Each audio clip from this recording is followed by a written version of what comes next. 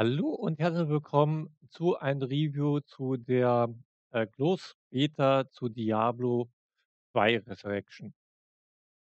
Ich würde gleich mal anfangen, euch empfehlen, euch, wenn es hoffentlich noch geht ich habe schon vor Jahren gemacht, äh, bei Blizzard euch noch das alte Diablo 2 mit Add-on runterzuladen, die Installationsdateien. Das heißt, ihr kriegt 'ne kleine Datei und dann und dann lädt er die Installationsdateien runter.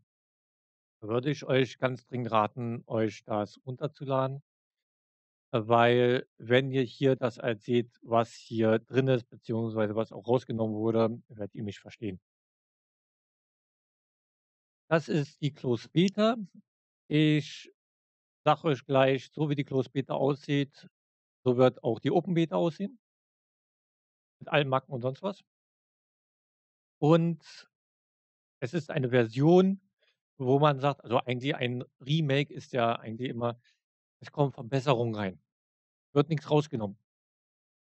Blizzard, wir kennen Blizzard. Blizzard versteht es bis heute nicht. Die packen nerviges Zeug rein. Packen gute Dinge raus. Blizzard, ne? Die haben zwar nie ganz verkackt wie bei ähm Warcraft 3, aber es kommt schon nah ran. Weil das Spiel ist eigentlich ein Spiel, was für die Konsole gemacht wurde. Mehr nicht.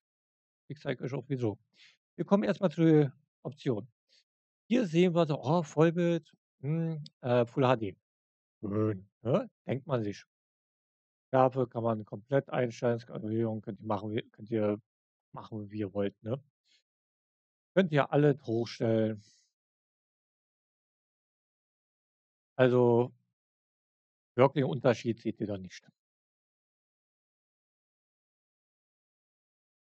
Und wieso? Hier, die Spielauflösung, egal ob ihr das Neue oder das Alte habt, bleibt so. Das ist nämlich der Knackpunkt. All was sie gemacht haben, ist 'n Mod drüber gepackt. Ihr könnt auch Diablo das normale Diablo 2 einfach auf Full HD spielen. Macht einfach das normale Diablo 2, macht den Fenstermodus, zieht lang, fertig. Es gibt auch Mods, dass ihr Diablo 2, das normale Diablo 2 auf Full HD spielen könnt. Geht. Zwar in der älteren Grafik, aber es geht. So. Gameplay. Was gut ist, ist, äh, man kann automatisch Geld aufsammeln. Das ist gut. Automatische, äh, Gruppeneinladung ist scheiße, würde ich ausstellen. Paketzuweisung. Hier könnt ihr über die Mana-Kugeln und so alles euch, ähm, ja, anzeigen lassen, wie viel Mana ihr noch habt drinne habt. Braucht man nicht unbedingt. Chat. Jetzt kommen wir zu 'nem ganz großen Knackpunkt, Chat. Ihr habt ein Chatfenster in Online. Ihr habt eure eigene Karte. Machen wir auch gleich und dann seht ihr, was ich meine. Und trotzdem seid ihr in einer Lobby drin. Euch permanent angezeigt wird, die schreiben. Ihr könnt das nicht ausblenden. Das ist kein Scherz. Ihr könnt N oder sonst was drücken. Geht nicht. Controller, Vibration ausschalten. Ja. So, wollen wir auch mal übernehmen. Denn noch? Spielname und Passwort anzeigen, äh, würde ich euch raten, dass ihr's ausschaltet. Ansonsten, wenn ihr da im Menü seid, sieht jeder euer Spielername beziehungsweise euer Passwort und kann einfach so beitreten. So, wenn ihr jetzt so einfach spielen macht, seid ihr in irgendein Online-Ding drinne. So, machen wir mal Lobby. Hier ist Lobby. Ihr könnt auch das normale Ding wird permanent angezeigt. Hier könnt ihr offline machen, wie ihr wollt. Ihr seht ja, was ich meine. So, wir machen mal Nidhogge. Mal gucken, ob das hier gelöscht hatte. Bla bla bla bla. 8 Mitspieler gab's auch schon vorher. Das ist auch kennt man. So, wir haben hier selber jetzt einen, ja, kleinen Server erstellt, ne? Das geht auch mit dem normale Diablo 2. So. Wir drücken F, braucht immer 'n Menü, um nah ranzuzoomen. So sieht das Ding jetzt aus. So sah es vorher aus. finde, die Visage sieht hier bei der ganz schön eckig aus.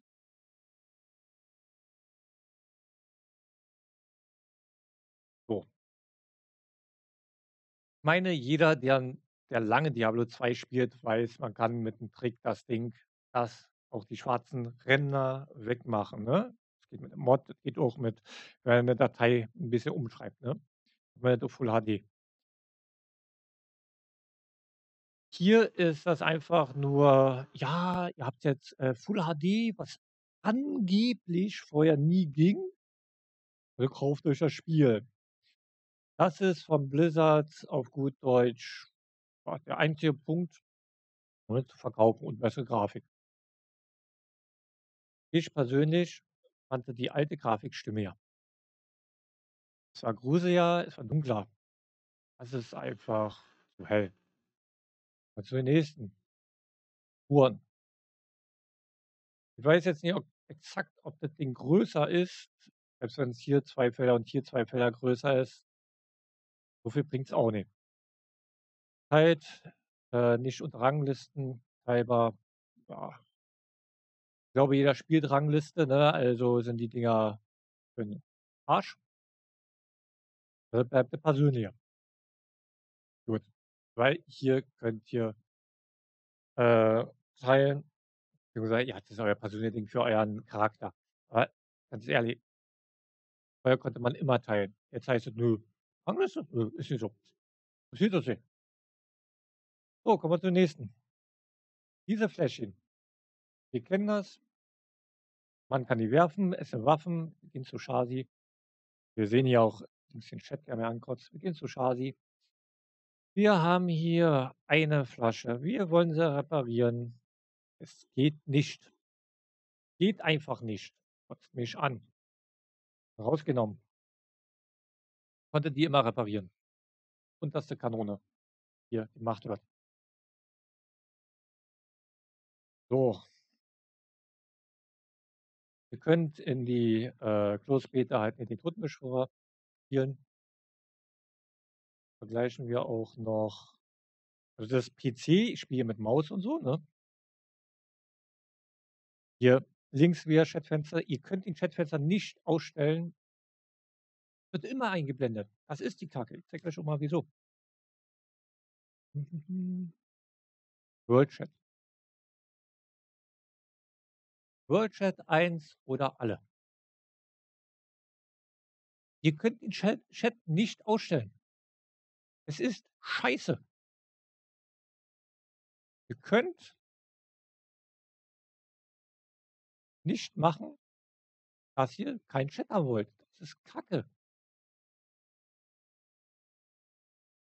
Was soll das? Ganz ehrlich. Müll ist das.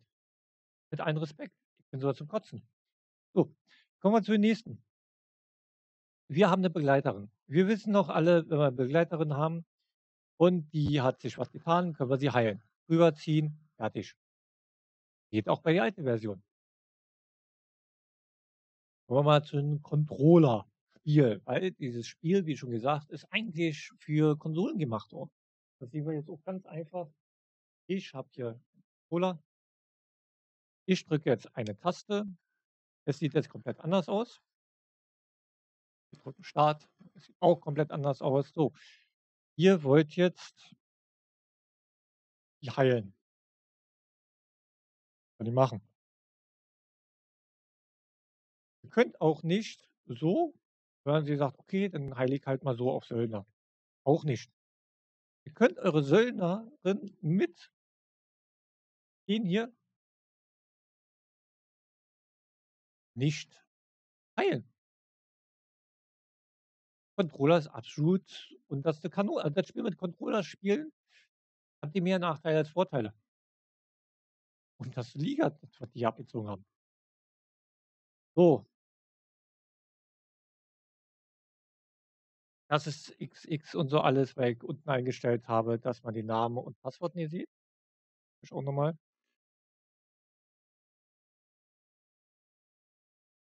Äh, nein.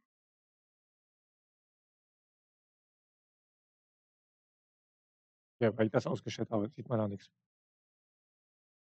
So. Aber, äh ist nie wirklich gut gemacht. Tiere äh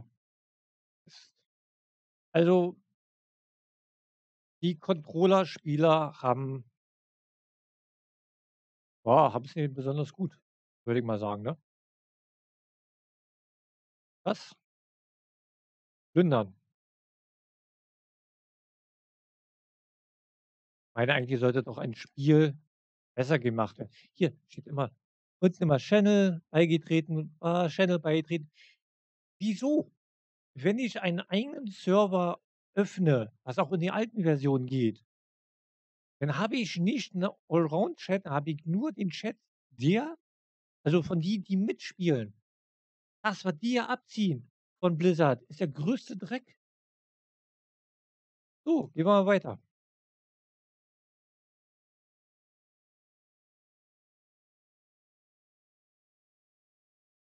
Zeige ich euch mal so sieht's per Controller aus, die Energie. Das ist doof, dann müsst ihr immer gucken, angegriffen wird, beziehungsweise ihr schlagt einmal und die Energie da ist es wieder weg. So, anders mit, äh, Maus und Tastatur. Okay, die hat's jetzt schon zerpflückt. Ja. Ihr habt immer oben angezeigt. Das heißt, ihr müsst bei PC deswegen, PC ist bei Weitem besser als das Ding mit Controller. Ihr müsst beim PC immer nur oben gucken, ne? Oben in der Mitte. Hier. Ah, so viel Energie hat er. Ihr wisst immer okay, wo es ist. Wenn ihr per Controller spielt, müsst ihr immer gucken, wo ist die Figur? Wie viel hat er noch? Oh, der läuft weg. Ich sehe ich sehe überhaupt nicht mehr, wie viel Leben der hat. Bei Bossen ist das extrem beschissen. Wirklich. Blutrabe ich musste permanent sehen, ich habe vor Kurzem gestreamt, äh, wo ist sie, wie viel Energie hat sie noch? PC-Version seht ihr immer oben, so viel Energie hat sie. Das ist schlecht gemacht. Das ist einfach nur schlecht gemacht. Ich zeige euch das bei Twistram.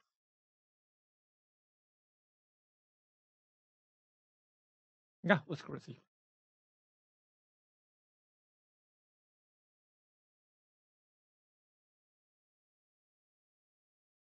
Ah, Chrissy will sich hier nicht blicken lassen.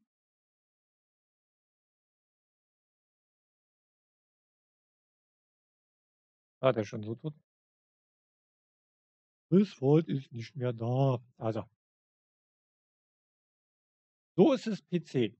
So, jetzt mal auf. Controller. Also, ganz ehrlich, das ist doch umständlich, oder? Müsst ihr mal gucken, okay, so viel Energie hat der, immer weniger angucken. Das ist doch echt umständlich. Also ich finde es nicht gut. Ich finde, da hat man das Spiel schlechter gemacht, anstatt besser. Meine Meinung. Äh, viele werden's natürlich gut finden, das Spiel, weil sehr viele halt irgendwann gesagt haben immer so: „Ja, Diablo 2, alte Grafik will ich nicht.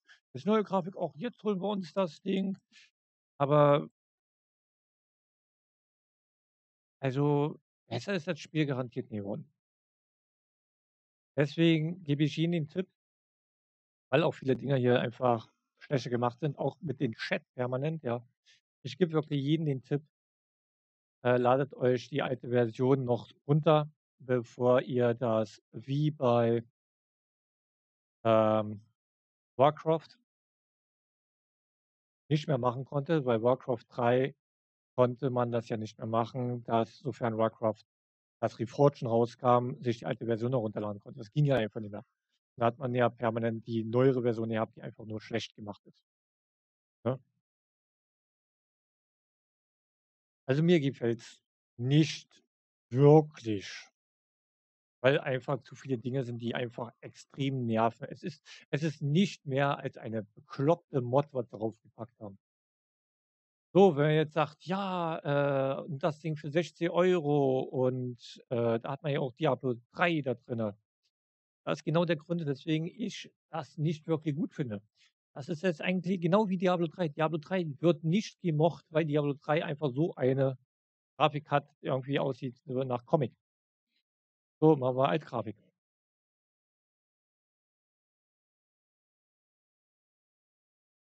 Sieht stimmiger aus. Also von Gruselfaktor, gut, ich kenne das Spiel von früher auch. Aber das Ding ist einfach Nebel, das ist viel, viel zu hell. Das sieht einfach stimmiger aus.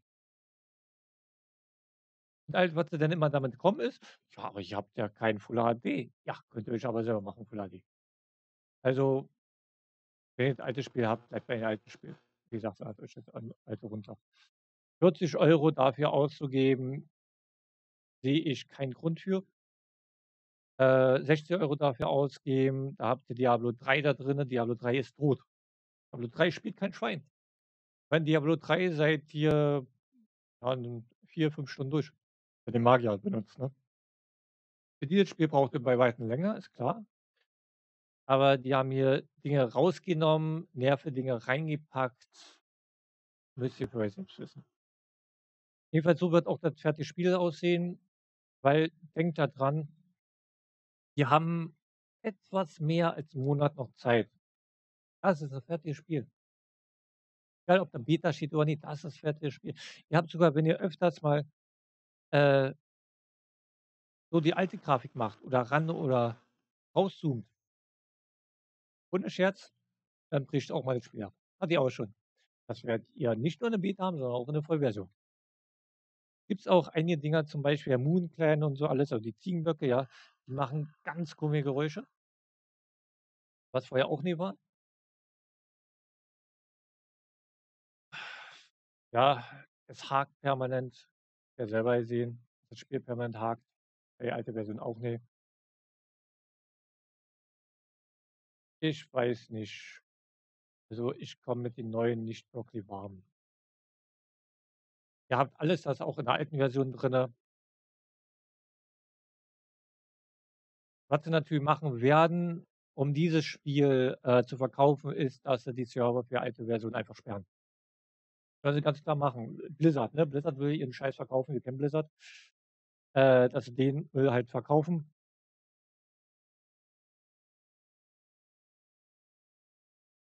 Nicht wirklich dolle.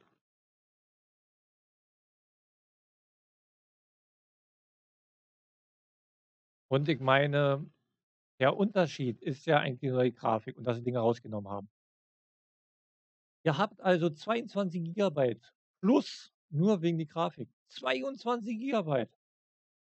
Das normale Spiel ist 1,9 Gigabyte groß. Das Ding ist 22 Gigabyte groß. Für was denn? Für Grafik, das mir persönlich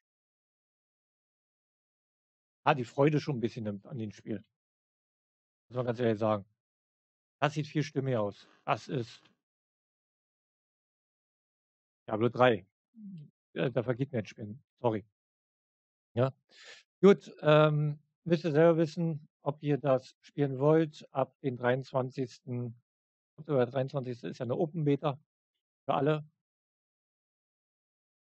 Müsst ihr selber wissen, ne? Dann bis zum nächsten Mal. Tschüss.